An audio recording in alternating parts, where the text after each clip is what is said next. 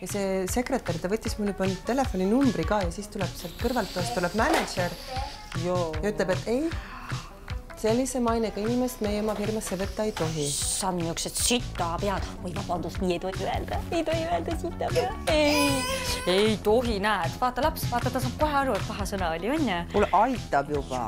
nee, nee, nee, nee. lindtraktor on, paneme siia peale selle hobuse, sõidab sellega